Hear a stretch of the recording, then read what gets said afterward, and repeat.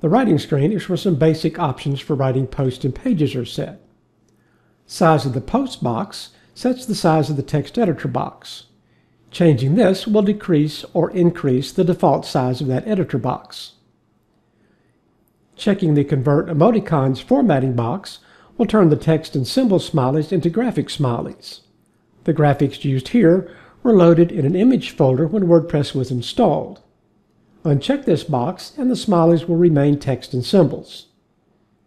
Check this box and WordPress will check for valid XHTML code. Invalid XHTML code may cause problems in some browsers.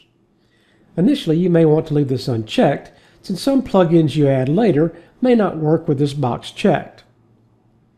The next choices are default settings for categories used in WordPress, post categories and link categories, and for the default post format setting. If you don't assign a category, then it will be placed in the category that is set as the default here. These can be changed later if needed. The default post category is set to uncategorized. Any categories you add will be listed to the drop-down, and this default can be changed as needed. Post format is referring to the list of formats in the Format module on the Add New Post screen.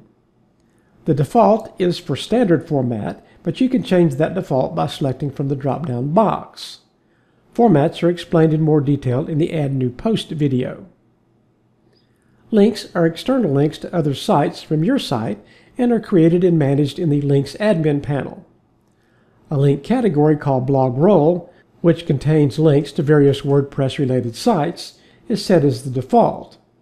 As you create new link categories, they'll be added to the drop-down and you can change the default from that list.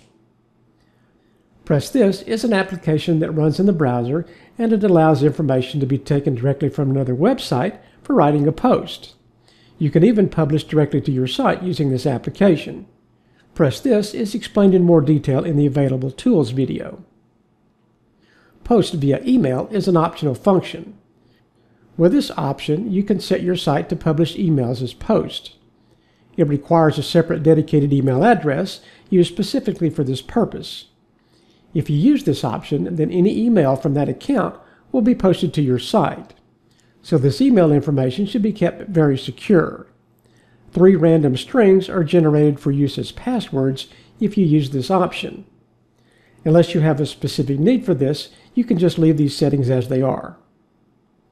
The next two boxes enable the Atom Publishing Protocol or one of the XML-RPC protocol publishing applications used for posting directly from a desktop client or remote website. These are off by default and should remain off unless you're using an application that requires these protocols, such as the Foxfire plugin ScribeFire. ScribeFire requires the XML-RPC protocol box to be checked. Update services is a list of the various services that are used to send a ping or an echo request each time you create or update a post. Ping-O-Matic is the default service and it notifies different search engines that your site has been updated. More services can be added to this list to help increase your site visibility.